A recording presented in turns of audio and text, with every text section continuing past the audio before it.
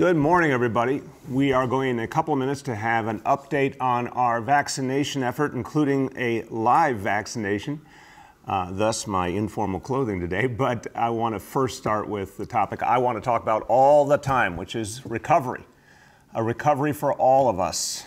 That means a recovery that's lasting, a recovery that reaches every neighborhood of this city, brings back the life of the city, the vibrancy, the jobs. And good news today Google, a company that has had a long positive history in New York City, plans to invest 250 million more in New York City during the year 2021. Now, Google is uh, an important, large company. Obviously, they've been here for over 20 years, and Google considers New York its second home. Uh, the commitment that they are making will continue to expand their presence here. So they're going to continue to develop their Hudson Square campus. 11,000 jobs already in New York City. That's going to go up to 14,000 uh, in the short term. So 3,000 more jobs coming, and I expect that number is going to grow even further. So thank you to everyone at Google for continuing to believe in New York City, and we're seeing this across the whole technology community. Tech community is doubling down on New York City. We've seen a number of firms step forward, make new investments because they know how much talent is here in New York City and that the future is bright and this is the place they have to be. So, good news today and a good sign of things to come. All right, now, recovery for all of us means reaching people in every neighborhood. It means addressing the issues that have come out during the coronavirus crisis, addressing the disparities that have been so sharp. We've seen it in every area, and some of the sharpest, clearest examples have come in the area of healthcare. So let's talk about mental health. This is a need that we've been working on in this administration for the last seven years intensely. And if there's any place where disparity is clear, it's in the area of mental health. For the African American community, Latino community, Asian American community, there is a distinct need for more mental health services and more providers who come from the community. And we have to find new ways to reach people at all times because the pandemic has also proven to us that we have to be creative and flexible in getting mental health services to people in any way that works for them. The leader in this field in New York City has been our First Lady. She has pushed everyone across the city government to innovate, uh, to expand mental health services, to find new ways to make them accessible and to make them available and appropriate for all the communities of the city. So, here with an important new announcement, our First Lady, Chirlane McCray. Thank you, Bill, and good morning, everyone. Today's announcement is about connection, an essential need we feel as human beings. Our drive to connect with others is embedded deeply in our biology and our evolutionary history. It's why we love our families and communities and take so much satisfaction out of belonging to a neighborhood. And it's why, when we need it, we prefer to seek help from the people around us, the people who know us best. The truth is, many of us don't have that support anymore. Maybe we came from another country or state and left our family behind, or maybe we just don't know our neighbors that way. But we still yearn for that connection in times of happiness and celebration, but especially in times of crisis. This past year, our communities of color have needed that kind of support more than ever.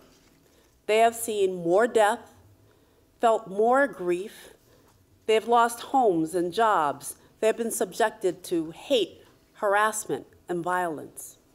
And they have gone through it all while already being underserved in so many ways. Communities Thrive is about bringing the support people need closer to where they live, to a familiar setting. We will help 30 community-based organizations team up with health and hospitals taking advantage of the massive telemental health support system Health and Hospitals has created over the past year. Health and Hospitals has already hosted more than 1 million telehealth sessions with New Yorkers, including 200,000 telemental health visits. That number is both remarkable and painful to imagine.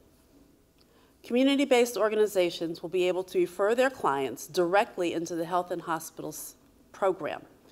In turn, these organizations will work with our health and hospital providers to make sure they are fully understanding of the communities they serve and providing culturally responsive care. This is teamwork at its best. It means people of color will get the care and support they need from professionals who really understand what they're going through. A few months ago, I visited one of the Korean Community Services locations in Queens. And, and this is an organization that I've met with before. I have spoken with the doctors, nurses, and staff, and, and I am always impressed with the extraordinary number of volunteers who show up day after day to help take care of their own. They speak the language, they know the family histories, and they have real relationships with parents and children. These community organizations are key to providing the kind of safe spaces where most, the most important conversations about mental health can begin without stigma. Now, with Communities Thrive, this is exactly what will happen. Thank you. Thank you so much, Chirlane. And when you talk about the need to overcome stigma, and this is something that you have led the way on, starting a very different conversation years ago in this city that brought the questions of mental health out in the open in a way that really helped people to think differently and help people to come forward and get the help they needed and not feel bad about it. Uh, this has been a huge, huge change in the city. A lot more to do.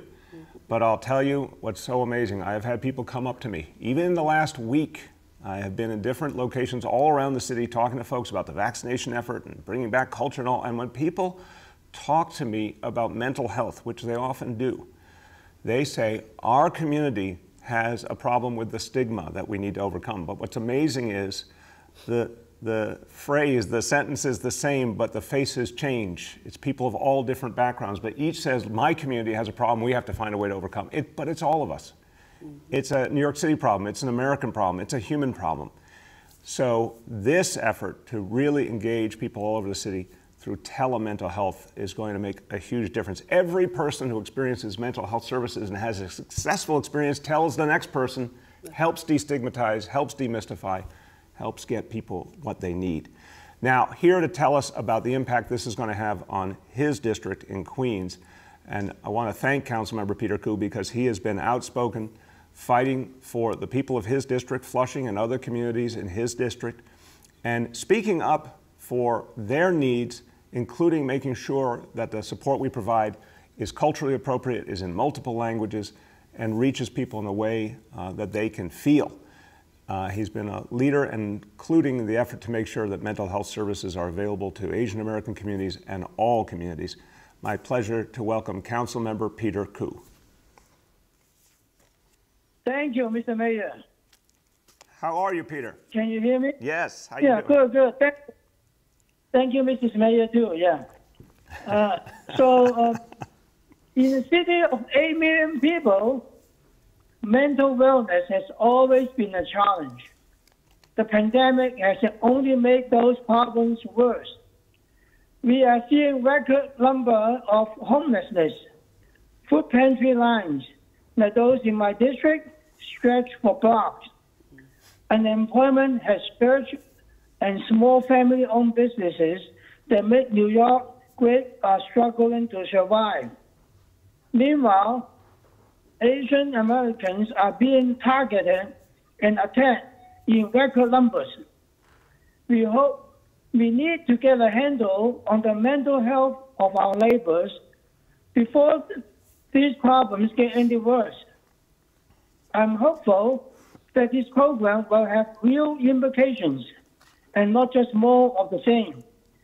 The goals of this program put us on the right track in targeting underserved communities of color who don't have the same access to mental health services. Language access, in particular, is critical for my community, and I'm glad to see this program finally focus on eliminating linguistic barriers. We won't solve this problem in one day, but by providing the resources services, and access for our underserved New Yorkers, this is the start. We need to get New York back on track toward the road of recovery. Thank you, Mr. Mayor. Thank you so much, Council Member. Thank you for your good work and your advocacy for your community. And really think what you said is important. We've got to ensure that people get the service they need in the language they need it in, in a way that works for them. Uh, that's how we move forward. We cannot have mental health be something only for those who are privileged. Because let's face it, the American healthcare system has been based on how much income you have. Uh, we've been trying to break that down in so many ways with Thrive, with guaranteed health care, but this is another way of doing it. Reaching to communities that have had fewer advantages, making mental health services available for them in an easy, free way. Uh, we are really excited about this. So thank you, Council Member, for your support. Okay, another part of a recovery for all of us. So what is New York City all about? Well, New York City, there's so many wonderful ways you can define the city, but one of the things that's going to come to mind always is arts and culture. The incredible cultural life of this city, admired all over the nation, all over the world. People come from thousands of miles away just to experience the culture of New York City, and we are blessed to have it right here in our backyard, and it's part of who we are, and it's definitely going to be part of our comeback. So this week, the announcement. I was really pleased to be with folks from the Public Theater at the Delacorte Theater in Central Park as we announced Shakespeare in the Park coming back. And so much more culture is coming back and is coming back quickly because this is part of what's going to give us the hope and the energy for our comeback. So last month we announced something to make it easy for cultural organizations and venues to participate in this big recovery of our cultural and artistic community. The Open Culture Program gives space to artists, to performers, outdoors, on the streets, in the parks, everywhere where we can gather people safely to experience amazing performances and feel the energy coming back to this city. Tomorrow, the first three performances as part of our Open Culture program. I'm really excited that these performances are about to happen. It's happening now, it's coming together, and I'm really excited that it's happening all over the city. So, tomorrow, at the ID Studio Theater in Mott Haven in the Bronx, an event of remembrance featuring drumming, spoken word, hip hop, and poetry by Bronx artists. And then also tomorrow in Williamsburg, Brooklyn, LeMay, the theater group that is providing a performance to share expressions of the loss that people have experienced, but also the resiliency and the determination to move forward. And finally, in East Harlem, a venerable organization, El Museo del Barrio, a beloved organization, the nation's leading Latino and Latin American visual arts museum. A performance tomorrow by an all women drumming group, Fogo Azul, and more additional performances as well. These are the kinds of events that are going to excite people, energize people, help us move forward. We have 156 events approved already and more coming. And any organization that wants to apply, you can go to nyc.gov slash open culture and you can apply to be a part of this amazing, amazing effort. Okay, well, every day we talk about vaccine and the vaccination effort, so that time has come. Now, first, let me give you the overview. The overview today is a very good one. Again, we have passed 3 million vaccinations from day one, and the number's climbing rapidly. Today, as of this moment, we have had 3,077,584 vaccinations.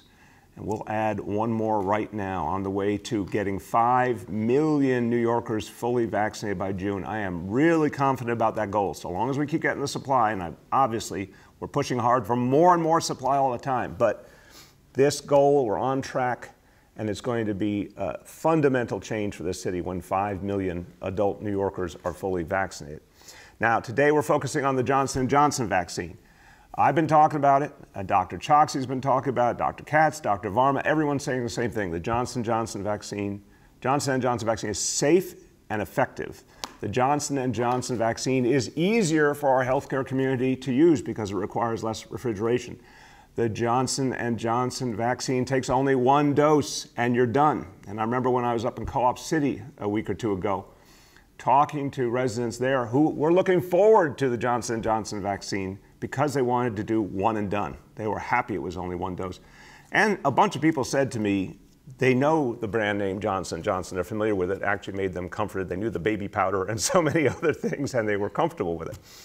So, um, I want to quote Dr. Choksi before he steps forward because he had the, I think, the quote of the year when he said, in answer to folks wondering about different vaccines and how and when to get vaccinated, he said, the best vaccine is the one you can get now. The best vaccine is the one you can get in your arm as quickly as possible to protect yourself and your family and your community. So let's do that right now, Dr. Choksi. I will hold this up for you. Thank you, sir. How are you feeling? I am feeling very well, doctor. Yes, my dear. Thank you for your moral support.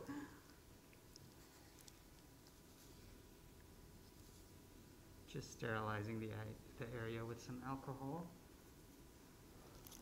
You were very thorough. It's good that we're giving you practice here, so you remember how to do this. Yes, indeed. All right, sir. Just a little prick.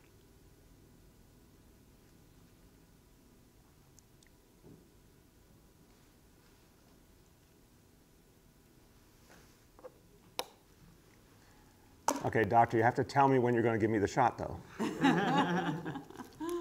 I mean, this is going on a long time. Just, just give me a warning when you're about to give me the shot, okay? We're all done, sir. Very good. All right. Thank you. Thank you, team. And just a little bandage for you. I'm going to give live commentary now. First of all, you're very good at that. Thank you, sir. You should be health commissioner. uh, so I'm like amazed. I've gotten flu shots, obviously. This, this really, I could barely feel it. I'm not, I'm not joking here. That was great. Well done. I, I forgot some of the most important parts, sir. Yes. all, your vaccination card. Okay, there it is. I'm official. Joining the 3 million now. And a pen. I thank you. I'll put it right here above my other symbol. So that was easy. So I want to tell everyone that's really easy. Uh, I can now attest personally. No, for anyone, if you've had a flu shot or anything like that, it's really, really the same. It's just done. You feel it for a second, then it's over, and uh, we will report on the next 24 hours. Very normal. People have a little bit of reaction for the first 24 hours, as with a flu shot and other vaccines. But great feeling when you know you've been vaccinated and you can protect your loved ones and your family and your whole community. So thank you, doctor. Well done. And everyone, again, uh, I have total faith in the Johnson & Johnson vaccine. That's why it's now in my arm. Uh, I totally believe that this is a safe, effective way to protect ourselves. And we need it because we need the supply and we need the ability to get people done with a single shot. So this is what makes a huge difference for all of us. Okay, let's go to our indicators. Number one, daily number of people admitted to New York City hospitals for suspected COVID 19. Okay, today's report, again, below that threshold. Now, again, we have a long way to go. Uh, we got to see a much longer trend line, but this is good 194 patients. Confirmed positivity rate, again, this varies a lot by day, but encouraging 33.01%. Uh, hospitalization rate today, 3.7 per 100,000, getting better. And then on new reported cases on a seven day average, today's report 2,592 cases, and percentage of people testing positive citywide for COVID 19. Today's report on a seven day rolling average, 6.42%. Okay, I'm going to say a few words in Spanish, and the topic is the topic of the day Johnson & Johnson vaccine. Hoy estoy emocionado de recibir la vacuna para COVID de Johnson Johnson. La vacuna es segura, eficaz y muy importante para la seguridad de mis seres queridos. Todos los neoyorquinos, todos deben vacunarse. Así es como vamos a vencer al virus y recuperar nuestra ciudad. Okay, with that, let's turn to our colleagues in the media. And please let me know the name and outlet of each journalist. We'll now begin our Q&A. As a reminder, we're joined today by First Lady McCray, by Dr. Choksi, Dr. Katz, Thrive NYC Executive Director Susan Herman, the Director of Citywide Events Ellen Canfield, and Senior Advisor Dr. Jay Varma. First question today goes to Andrew Siff from WNBC. Good morning, everyone, and uh, Mayor, hope your arm doesn't hurt too much uh, after that shot. My question is, my first question rather is, Yesterday, Governor Cuomo announced that uh, indoor fitness classes, yoga, dance, and boutique fitness could resume in New York City next week. Was your health department notified in advance of that announcement? And if your health officials could weigh in on how it is that on Tuesday they told us that those classes could not safely resume, that now we're told on Wednesday that they can safely resume. Well, Andrew, you are identifying a mystery that we all should focus on. The state of New York continues to make decisions without consulting uh, the city of New York or our health experts or any locality, and this is why we need local control. Um, it's just troubling to me uh, that our healthcare team has said very clearly uh, this is not what they would have done. Um, and the state just doesn't care. Uh, I put out a statement and said, we're going to do our best to implement this rule safely because the state has the legal right to do it. But it's not what we would have done. And on top of it, I want to ask a question Is this being done because of what the data and science is telling us, or is this being done for political reasons? Because it sure as hell looks like a lot of these decisions are being made by the governor because of his political needs. So that's my statement. As to the specific, were they consulted what they think of it, let me turn to uh, Dr. Choksi and then Dr. Varma. Uh, thank you, Mr. Mayor. Uh, we were not consulted uh, on this specific decision, and uh, as the mayor has said, this is an area where we've expressed concerns about um, the risk of spread of COVID 19, particularly because it's an activity that combines being indoors, being in groups, uh, and not being able to um, easily and consistently um, wear masks that don't get wet. Uh, and for all of those reasons, um, you know, we had expressed concerns about it. Now, as the mayor has said as well, um, we will take uh, all appropriate health and safety safeguards um, to reduce the risk uh, when um, indoor fitness classes are allowed to resume on Monday. Yeah, and Dr. Varma, if you'd speak to this too, again, with the, you, you look at the national picture, the international picture, there's a reason we have not thought this made sense. Could you speak to that? Great. Thank you very much, Mr. Mayor. Yeah, just to, to, reiterate to people, this is an important area where people need to be careful. We have seen uh, data from outbreaks here in the United States as well as internationally. Uh, some of these very large outbreaks, because a fitness class, of course, can can involve a large number of people in the same place together.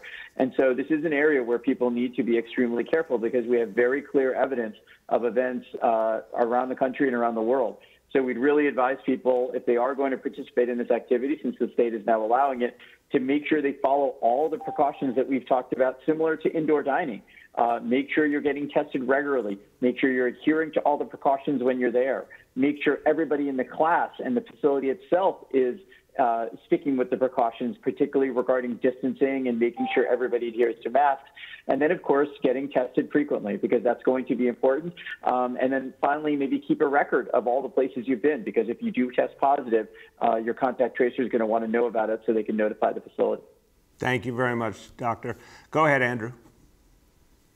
But to be clear, Mayor, and to the medical professionals, isn't what the state is saying is that these sites can open next week, but they don't have to. And do you not have the authority as mayor or as health commissioner, if you have true medical and scientific concerns about this, to prevent them from opening?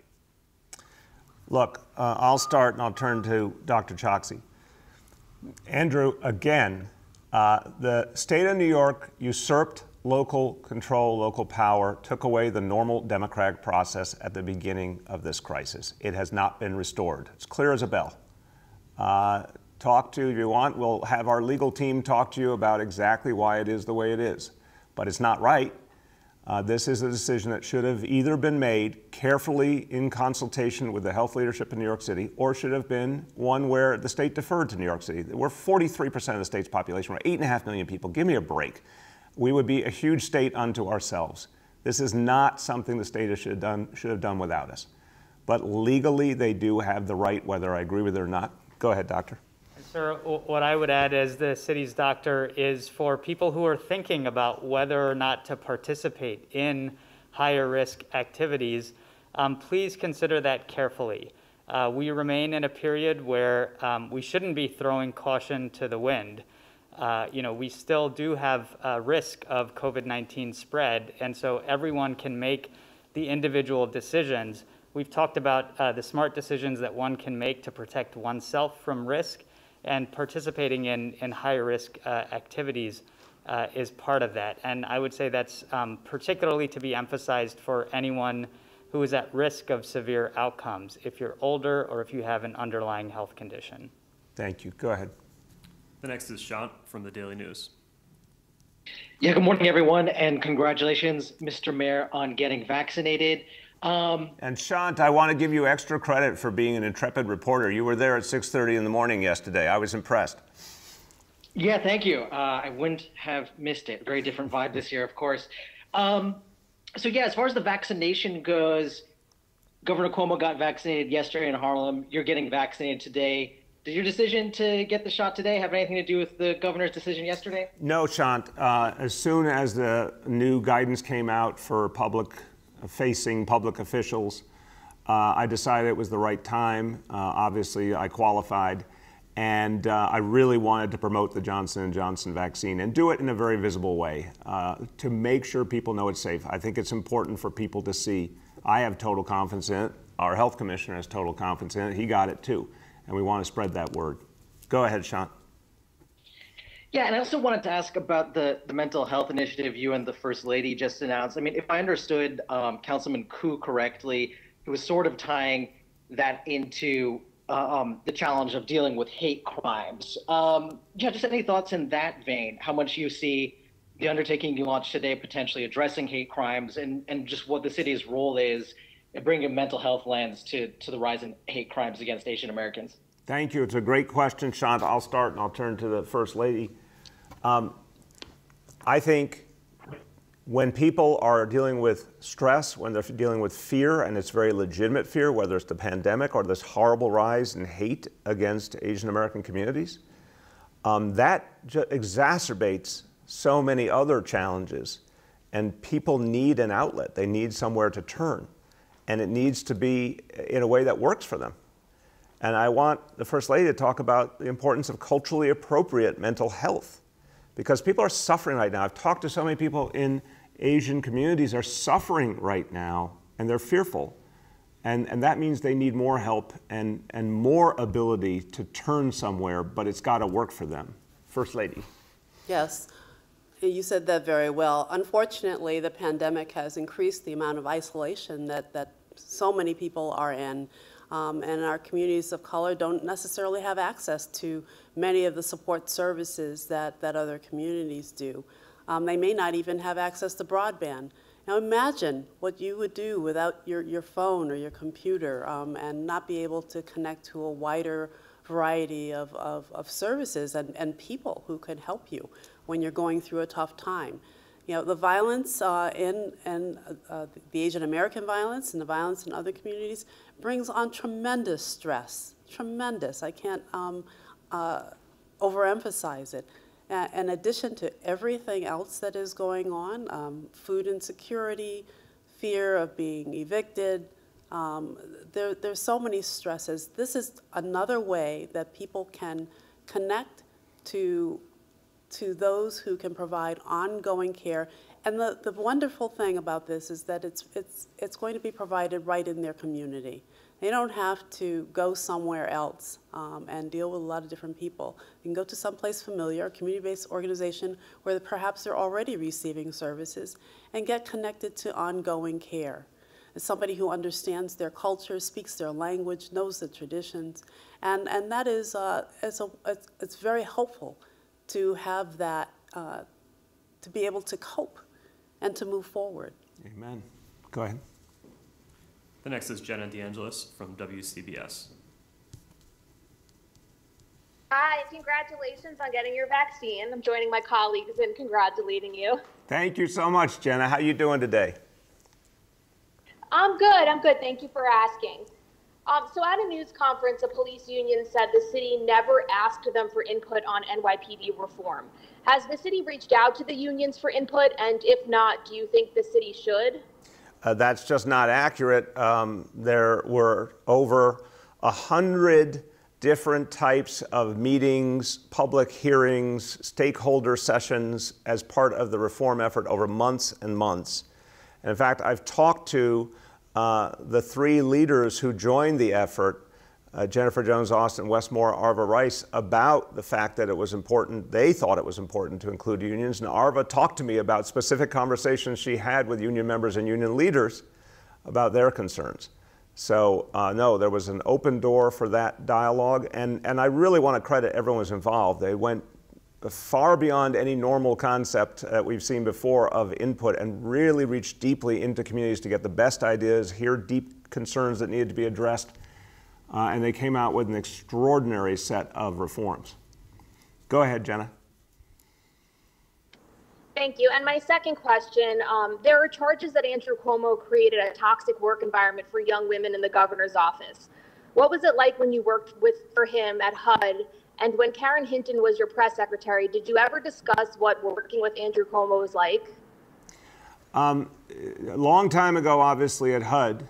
Um, so I don't think it's applicable. I think it's a very different situation to what we've seen reported uh, now. Uh, Karen and I talked many times about it, but I want to respect those private conversations. But I think we both, I won't speak for her, but I think we both came away very distressed with things we saw happening over the years. Um, but I'll tell you what I'm seeing now. Um, it's a worse version, a much worse version of what I used to see. And to see that after Lindsey Boylan came out with her experience, telling her truth, that the Cuomo team mounted an attack campaign against her. And I want to remind everyone a systematic taxpayer funded attack campaign against a woman who came forward to talk about the sexual harassment that she experienced by a public official. So uh, this is really cynical when a public official uses our money and, and his staff to attack someone uh, who's a whistleblower. That's exactly what happened. So um, that's even worse than anything, I'll, far worse than anything I saw in the past. The next is Katie from the Wall Street Journal. Hey, good morning, Mayor de Blasio. Congrats. Um, Thank you. How you doing today, Katie? I'm doing great. I'm doing great. Um, my question for you is in regards to this increase in hate crimes or, or violent attacks against Asian Americans here in the city. And uh, there was a story in the New York Times that said very few of these incidents get um, charged as hate crimes. And that's actually been very frustrating for people in the community because they feel for you know for multiple reasons that these attacks are not being taken as seriously. I know um, Commissioner Shea this morning spoke a little bit about how these are also underreported, but can you talk a little bit about what you would like to see the police do or what the city can do uh, collectively and you know perhaps if some of these are hate crimes but they're not getting charged as them um, it, what the city can do and what you would like to see the NYPD do if they can do more. Yes, I think I think we all can do more. And I think it is a reality we have to overcome that um, some people experience something horrible and don't know where to turn or aren't sure if they should report it. And my message to all New Yorkers, and particularly to Asian American New Yorkers at this point, is please report what you see. We need it. We need to know what's happening. We need to know if you've been treated wrongly if you've been a victim of discrimination, if you've been a victim of a hate crime, if you've been a victim of violence based on who you are, we need to know about it immediately. We need to know everything we can to find those who did it and bring them to justice. Because I'm a believer that we, of course, need the bigger efforts, the education, the outreach, but we also need consequences. So I want to remind anyone who feels that they have uh, witnessed or experienced uh, any act of hate, go to nyc.gov slash stop Asian hate. Really important to get those reports. There's also a lot of information in there about how to support the Asian American community. I, I think if we get more and more reporting, it will help us um, to stop and to, to stop this and find the very few people who are doing it.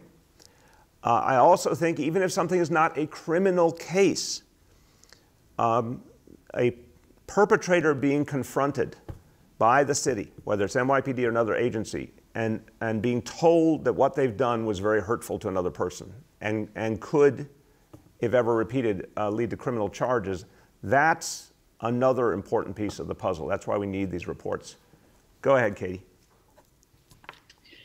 Um, thanks. And I guess just to follow up on that, but I guess the concern and the um, the upset coming from within the community is that so few of these are being actually um, tried as hate crimes, and that's what they don't understand, and that's what they are trying to perhaps if it's an education issue.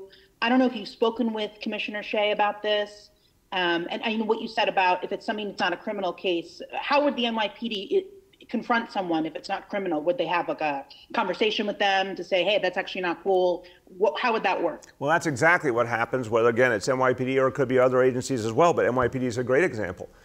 Uh, one of the things officers are trained to do is to give warnings. If someone has done something wrong, but not rising to a criminal level, it's perfectly appropriate for an NYPD officer to talk to them to say, that was not appropriate, and if you did that on a higher level, that would be a crime, and I think that has a educating impact on people. I think it has a sobering impact that we need. That's why we need every report. By the way, if something might be a crime, if it's not 100% clear, the NYPD is going to investigate. I assure you, if an NYPD officer calls you or shows up at your door to ask about something you did, that makes people think twice, and we need that. We also, in the reform report that we have put together in these last weeks, based on hearing communities. Uh, we put in there a new policy to widen the definition of what would qualify as hate crimes and to widen the tracking, uh, improve the tracking of hate crimes. This is a problem, and let's be blunt and honest. It's a problem that emerged particularly in the last four years in this city and in this country. We all know that the forces of hatred were unleashed by Donald Trump. That is not a news flash. We know more and more Hate speech has occurred. More and more people who are hateful have felt emboldened. We've got to deal with that aggressively. And part of it is to uh, report everything, track everything, and anything that might be criminal, prosecute, and anything that's not criminal, still follow up on aggressively so people feel the presence of law enforcement in the city, watching them to make sure this does not happen again. The next is Henry from Bloomberg. Henry? Oh, I'm sorry. Here I am. There you go. How you doing? I'm doing well. How are you? Good, man. Um, I guess my first question has to do with uh, these PACs that are affecting the mayor's race. Uh, Shaun Donovan, a story in the Times today about his PAC, where his father is raising you know more than a million dollars and uh, Ray McGuire raised three million in a month. Uh, some people contributed 500 grand or more. Is this, what's your reaction to this in, in terms of how it affects uh, city politics and uh, the race for mayor, particularly? Well, I'll say the simplest thing, uh, Henry. We passed a referendum a few years ago. I'm very proud of it to make our campaign finance system, I think, the best in the entire nation. Because now people can run for even mayor of the nation's largest city and never turn to a high donor ever. That's what we passed. That literally you could fund your entire campaign with grassroots donations and matching funds. Uh, I'm saddened to see any candidate uh, work outside that system and focus on big money. Um, that doesn't help us move forward. And I don't think the voters want to see that. I think they want people to participate fully in our very progressive campaign finance system that protects the voters' interest because it's not about who has the most money, it's about the voices of everyday people. Go ahead, Henry. Okay. Um, my second question has to do with uh, my inability to question or interview people in the situation room who are evaluating the safety of the schools. I've been trying to do this now for probably three months. I don't like advertising a story that I'm interested in pursuing, but uh, it's reached the point where the press offices of the health department, the Department of Education, they all tell me I can't do this, and I'm not aware of any national security interest or any other public safety interest that would preclude me from discussing uh, these issues of public import with people whose tax uh, money is paying for their salary. Can you explain to me why they are somehow sacrosanct and unreachable and uh, unaccountable to uh, the news media? No, I'm not going to explain that to you. I'm going to say we'll set up an interview uh, for you with our buildings commissioner, Melanie LaRocca, who has done a brilliant job running the Situation Room. I think it makes total sense. We're very proud of the work that's been done there. It has helped us keep the nation's largest school system up and running and safe. Uh, the Situation Room is one of the biggest innovations that uh, was part of this gold standard of health and safety elements that, that made New York City public schools the envy of the nation. We created the Situation Room. That was a brand new idea. It's been working. Commissioner LaRocca has done an amazing job. We'll make sure you can interview her and some of the other people who participate. The next is Emma from the New York Times. Emma? Hi, good morning, Mayor. Sorry about that. Hey. Um, I wanted to ask, first of all, with the, the vaccine, um, how do you feel emotionally right now? Have you been worried about getting the virus? Do you, how do you sort of, do you feel a sense of relief? I definitely feel a sense of relief. Also, I have been not so worried, but someone very close to me who may be on this panel has been constantly telling me that it's really important to uh, not delay uh, because this is something that, you know, I'm out there with people all the time.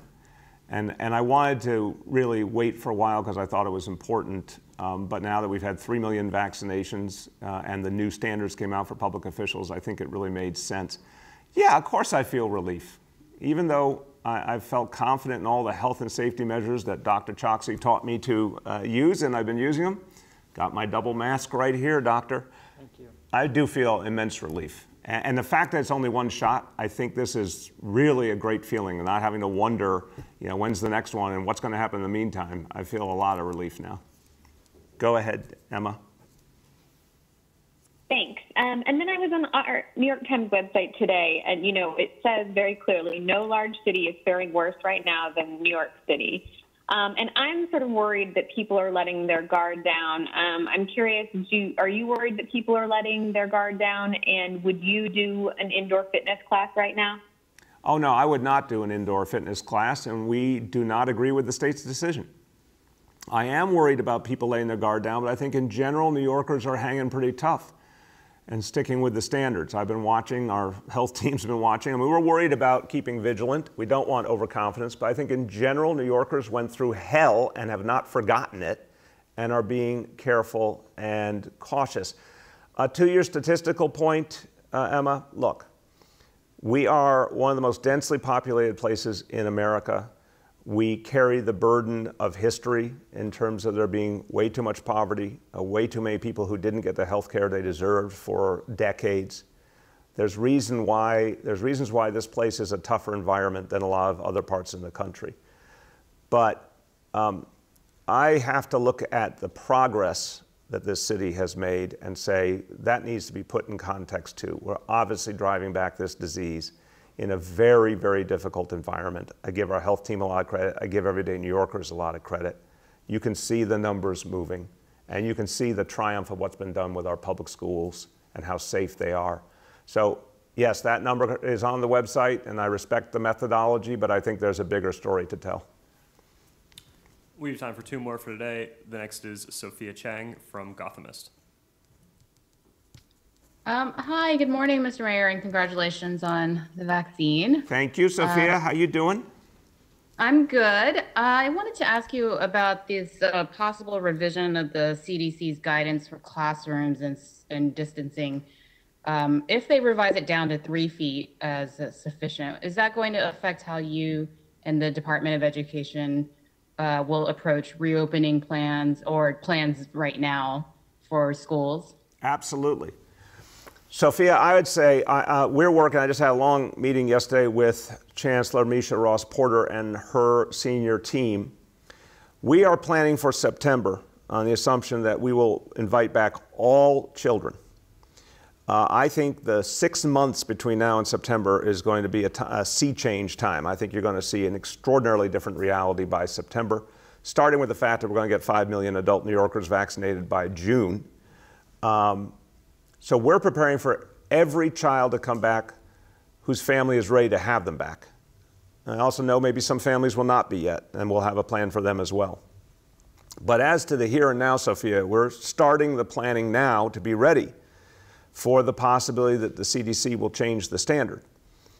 Uh, if there is a change from uh, six feet to three feet, for example, uh, that will absolutely uh, be the reason for an opt in uh, because we would want to give uh, more kids a chance to get back into school quickly. so we're getting ready for that possibility now. Go ahead, Sophia. Um, so if the CDC changes its policy, you would open opt-in this semester for families? And also, do, do you have updated numbers how many teachers have been vaccinated thus far? Because it sounds like the UFT numbers are a little bit different from what we hear from the city-run uh, vaccination sites. On the first point, we are preparing, we're not announcing anything yet because we still need more information.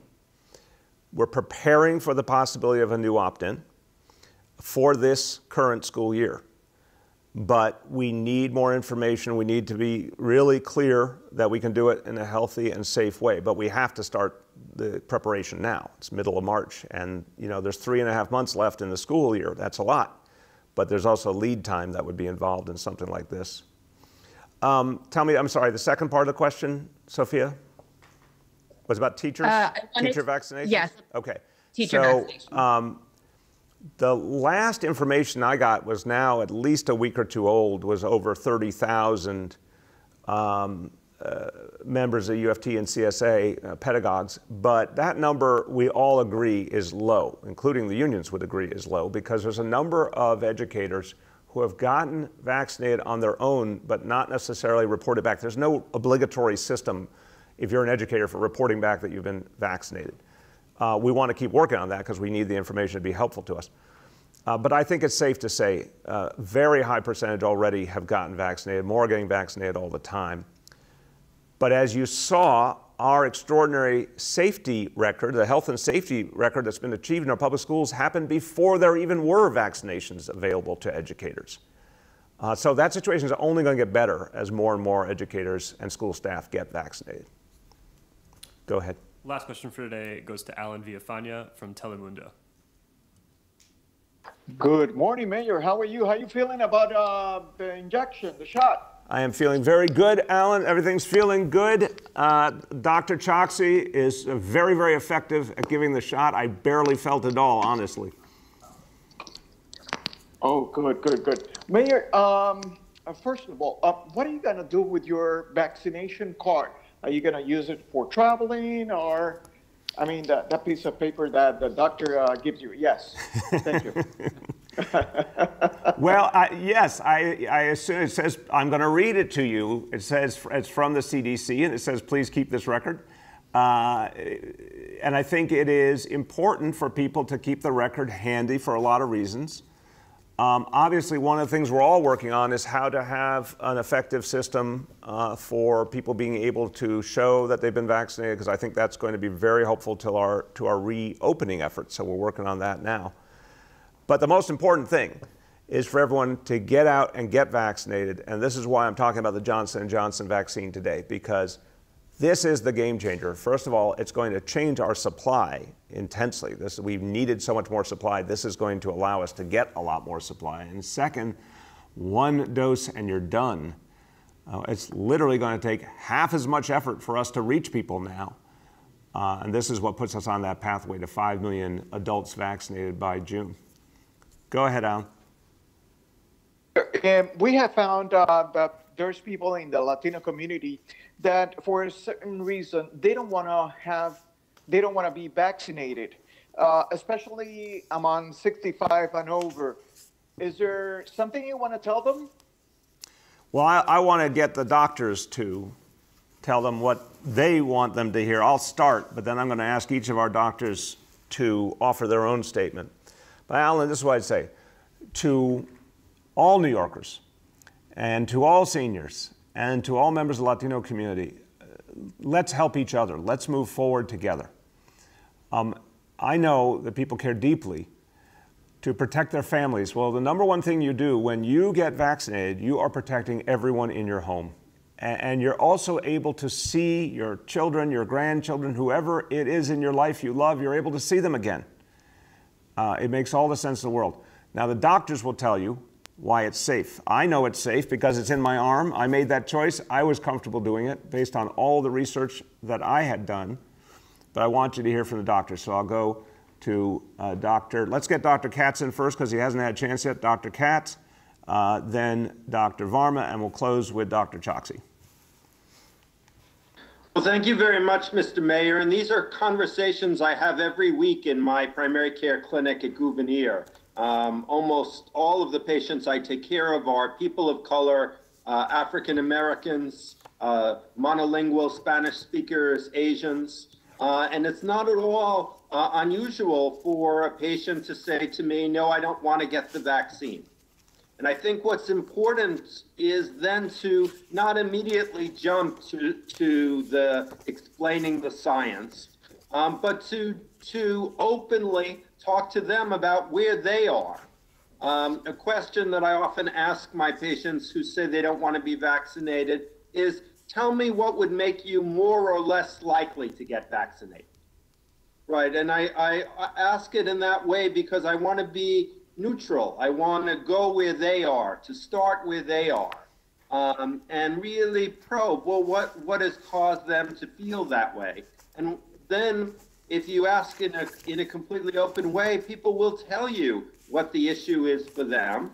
And I listen to that issue, and then I, I, I tell them that I feel that they would be safer, and as, as you say, Mr. Mayor, their family would be safer if they're vaccinated. And I find that if, as a doctor, I'm giving them that recommendation, um, many of them then say that they'll take it. Some of them say, I'm still not ready. And I'm like, that's okay. Uh, you'll tell me when you're ready. Um, so I, I think being very open, supporting people where they are, um, is key to getting everyone vaccinated. Thank you, sir. Thank you. Dr. Varma. Yeah, no, I, I think uh, Dr. Katz has really elegantly expressed how important it is for uh, each of us, whether we're physicians, uh, whether they're family members, whether they're work colleagues, uh, to be an ambassador and to and to be sensitive to people's concerns. People have are, are concerned uh, because this is unusual. That is entirely appropriate. They're concerned because information changes a lot. You know, we're, we're constantly getting updated. We're that's always a challenge for us, so that's a challenge for them. So I think Dr. Katz has really explained how important it is to really understand people's concerns. But the two messages that I find most powerful, maybe not necessarily at the one-on-one level, but sort of across the communities, are really for people to focus on this is the single best way to prevent severe illness and death. We know that all of the vaccines that are authorized are equally as protective at preventing severe illness and death. Um, so that's a message about protection, how you get protect yourself. And the second is vaccines are the surest way back path to the world we all want to be in, where we get to hug our loved ones, spend time with our friends, uh, go to activities that we really love. So a message really about community and, and, how we can get back to normal. So I think at the big population level, those are important. But Dr. Katz has really highlighted how important it is for us to also understand people's very real and appropriate fears and do our best to understand them and try to address them. Thank you. And Dr. Chokshi. Yes, sir, I'll just try to um, pull it together by saying we have a, a simple message uh, the COVID 19 vaccines are safe, effective, and they save lives. La vacuna es muy importante porque salva vidas. Um, that's why uh, we have chosen to get vaccinated for ourselves, for our loved ones, and for our city. Well said in multiple languages, Dr. Chokshi. And look, as we conclude today, I think anyone, any New Yorker has uh, concerns, uh, has questions they need answered, we want to answer your questions. We want to hear you and we want to respond to you. Uh, our health department, health and hospitals, everyone's out there. No question is, is wrong. We want to hear all the questions, but we also want folks who need that information, need that reassurance to get it so we can move forward. Johnson Johnson vaccine, this alone changes the situation, helps us move forward. Uh, I'll give you reports every day on how I'm doing, but I can tell you uh, I took this shot because I had total confidence in it. And I believe that if people get all the facts, they're going to want uh, to get vaccinated. They're specifically going to want the Johnson & Johnson vaccine, and that's what's going to move us forward. Thank you, everybody.